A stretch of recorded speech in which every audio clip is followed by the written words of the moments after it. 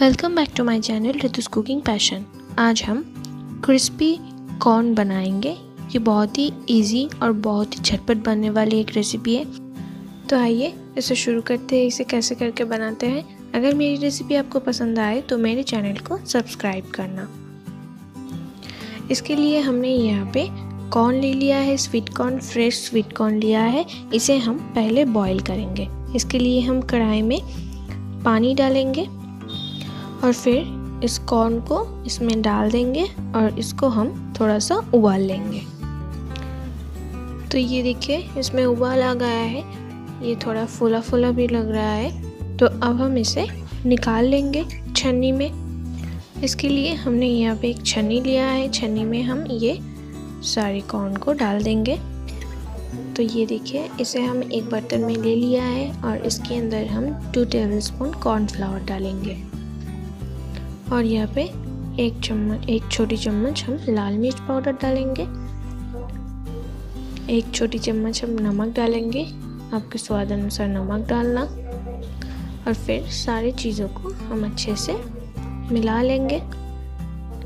तो ये देखिए, ये हमने अच्छे से इसे मिला लिया है।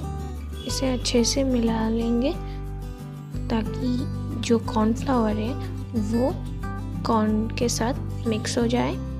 तो ये हमारा मिक्स करना हो गया है। अब हम इसे फ्राई करेंगे। फ्राई करने के लिए हमने कढ़ाई पे तेल ले लिया है। तेल को हम गरम कर लेंगे अच्छे से और फिर चम्मच की मदद से हम थोड़ा सा कॉर्न लेंगे और फिर इसको हम अच्छे से क्रिस्पी होने तक फ्राई करेंगे। इसको फ्राई करने वक्त आपको ध्यान रखना है ये अगर बहुत ही गर्म तेल में आप डालेंगे तो ये फूट कर बाहर आ जाएगा।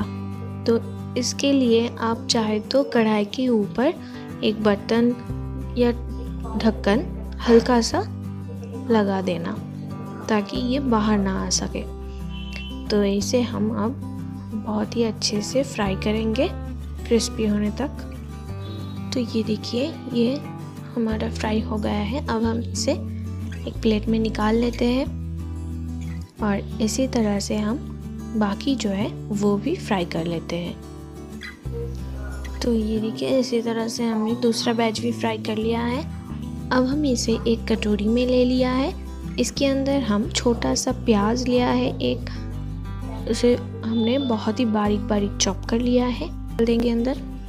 और फिर इसके अंदर हम नींबू का रस डालेंगे, हाफ़ नींबू लिया है, रस डालेंगे। इसके बाद इसमें हम थोड़ा सा हरा धनिया डाल देंगे और फिर इसको हम अच्छे से एक चम्मच की मदद से मिक्स कर लेंगे। आप चाहते, चाहे तो इसमें थोड़ा सा चाट मसाला भी ऐड कर सकते हैं।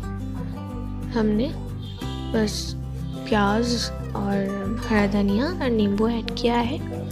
तो ये हमारा मिक्स करना हो गया है। अब हम इसे सर्व कर लेते हैं एक प्लेट में। तो ये देखिए ये हमने सर्व कर लिया है। और ये खाने में भी बहुत बढ़िया लगता है। आप इसे स्नैक्स के रूप में खा सकते हैं। तो आप इसे घर पर ज़रूर ट्राई करें आपको पसंद आए तो मेरे चैनल को सब्सक्राइब ज़रूर बताना। और बेल बटन को दबा देना ताकि